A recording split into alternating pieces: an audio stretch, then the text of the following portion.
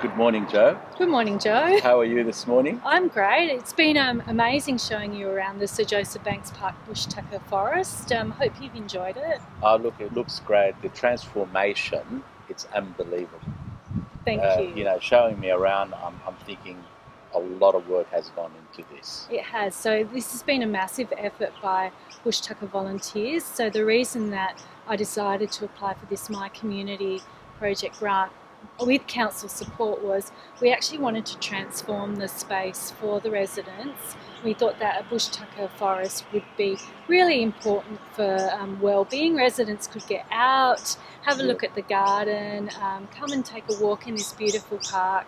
I think there's still some more work to go in, so we'll be doing some more accessible paths so Sure. more members of the community can get into the space. But we've done an amazing job with over 500 bush tucker plants in our forest here. Um, yeah, so I can't wait to see what it's going to end up looking like, considering this was waist high weeds and bitou Yeah, bush and saying. lantana.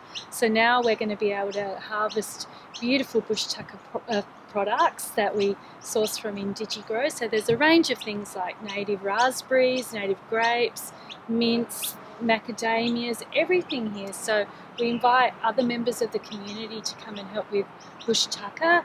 Bush care volunteering is really rewarding for me because I actually meet other members of the community. We get out there. Um, I think it's really good for your mental health to be pulling out weeds and Excellent. transforming a space. And it's very healthy being outdoors, I guess, doing all that, yeah. which is great. Yeah. Yeah. The last couple of weeks we've had a lot of Mhm. rain. That would have helped with all the planting. Yeah, it has. So Yeah. we um, we volunteer alongside council staff in this park. Uh, so a lot of the council staff provide knowledge to the volunteers Sure. about what we're doing, about the types of plants we're planting, and the environment in the park. So it's an amazingly large park. Um, it takes a lot of effort to maintain. So what we do as volunteers only just touches the surface on the amounts of weeds right. here. Exactly. Yeah. I mean, looking at the size of this park, it would have been a massive operation just to clear where you've actually planted. It has now. been, yeah, yeah. yeah.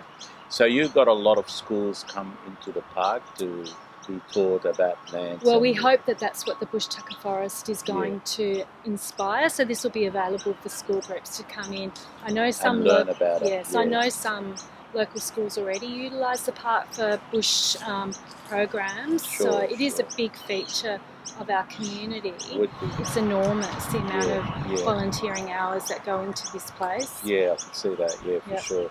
No, look, I think you've done a lot of good work. Uh, thank you so much Thank for your time this morning, showing me around. Yeah, thanks for very, coming very down. impressive. Very Thank you, impressive. Joe. Thank you.